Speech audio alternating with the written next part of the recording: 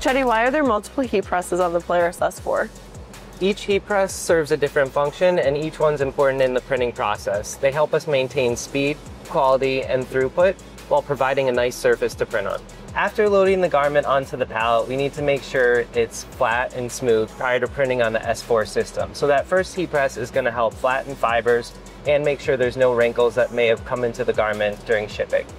Second heat press, which is right here, is used to help cure the pre-treat. So after we've applied pre-treat using the S4 system, we need to drive off that initial moisture, which we use the flash for.